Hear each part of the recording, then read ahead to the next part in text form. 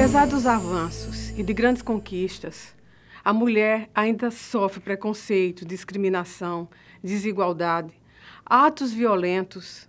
Isso é preocupante e eu, Cristina Amaral, embaixadora dos Direitos Humanos de Pernambuco, estou nessa campanha contra a exploração sexual de mulheres.